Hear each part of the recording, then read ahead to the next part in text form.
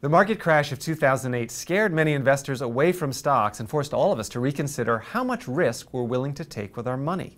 In her new book, The Ten Commandments of Money, author Liz Weston says that risk is impossible to avoid, and the sooner investors realize this, the more successful they'll all be with their money. Thanks for joining us, Liz. It's great to be here, Jack. So, we get a lot of questions from users. What can I do to put my money in a safe place? You say that's a dangerous question in some ways. It really is because there's no such thing as a risk free investment. If you find a safe place to put your money, like an FDIC insured bank account, you're going to be losing ground because you're not going to keep up with inflation. If you add in taxes to the equation, you are losing purchasing power. So, really, if you want your money to grow, you have to take at least a little bit of risk. And those of us who want to get to retirement someday and actually quit work have to take more than a little risk. So instead of just focusing on the market risk that whacked 50% off the stock market, there's also inflation risk, which you can't see, but it's still there. And recently, of course, ultra safe bonds have proven not so safe. Yeah, and that's the scary thing because people were sold this idea if they put their money in bonds, everything would be fine. And sometimes the bonds were misrepresented. And then there's what's going on in the general bond market, which is that, you know, we're seeing a situation where people's investments are losing value just because of what's going on in the market. That's one of the myths that you blow up in your new book. And another one is, it's kind of on the opposite side, is this idea if you're super young, you don't really need bonds at all. The stock market in the long term always goes up, so you can put all your money in stocks. Why is that a myth?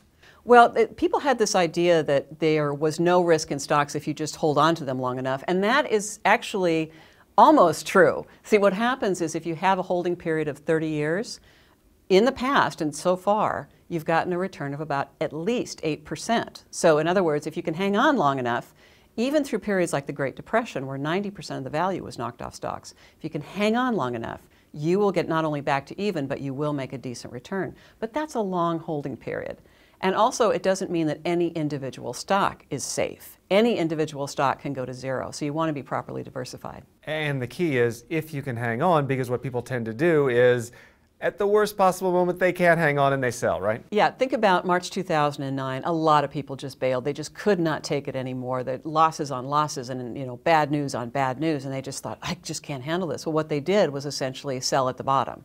And if they'd hung on, they would have come back with it. But what you need is to have a diversified portfolio with some bonds and cash, because that will give you the fortitude to wait out these swings in stocks. It helps cushion your portfolio. So given what's going on with the bond market right now, is there a particular area that you think people ought to concentrate their bond holdings?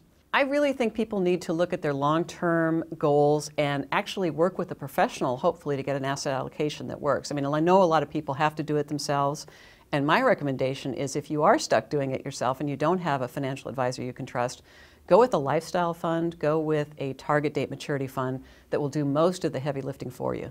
Okay, now what we've just been talking about is asset allocation, but that brings us to another myth that asset allocation eliminates risk. Can you explain why it doesn't? Yeah.